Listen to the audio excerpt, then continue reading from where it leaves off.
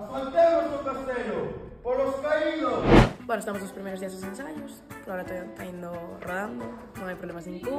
Bueno, é o primeiro ano que vou atuar na obra grande, pero con moitas ganas. Estamos tomando un pouco contacto cos personaxes, sí. ubicándonos no escenario, e, bueno, seguindo as, as directrices do, do director, pero, bueno, con Mille é moi fácil de traballar, danos moita liberdade para a improvisación e, bueno, se, pasase moi ben tanto nos ensaios como propio, o propio día do, do asalto. Este ano vai ser un pouco diferente a outros anos, ainda que a base vai ser a mesma de Irmandiños contra Nobres, pero vamos darlle un toque de homenaxe a certa xente que formaban parte do asalto nas súas determinadas áreas. Vai sobre unha persona moi especial para o asalto e para o pueblo en xeral que era Dadi. Bueno, pois chamase Requiem por Daddy. Eh, Dadi era un fantástico eh, escultor de madeira que tiñamos aquí en Miñanza hasta fai uns anos, que faleceu.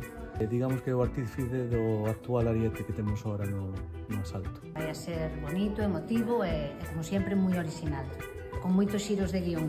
Estamos entre as telas.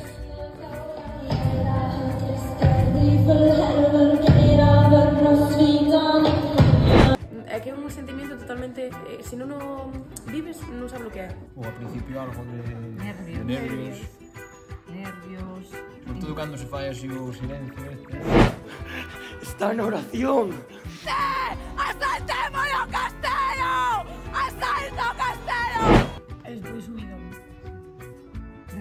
sales, eh, pisas a tabla, dis a primeira frase, xa está. Xa van os nervios.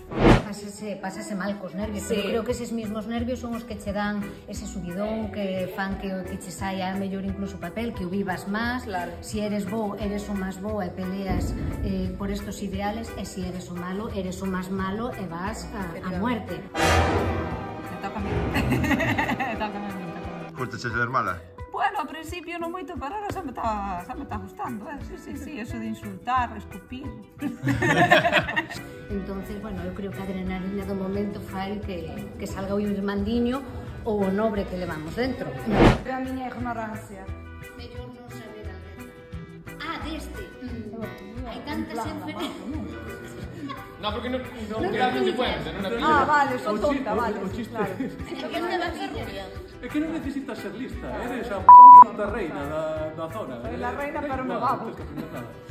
Realmente o que me gusta da obra é os ensaios, facer ila ilvanando, ila creando, ila desarrollando e que eh, chegar ao día da obra, día da obra, o día do, do asalto, eu non o paso ben, non o disfruto para nada.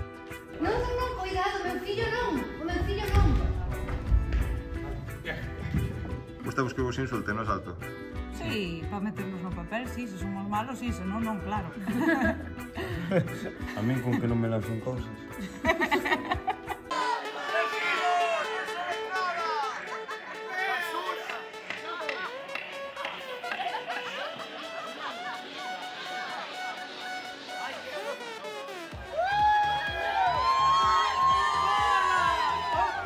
Rompiu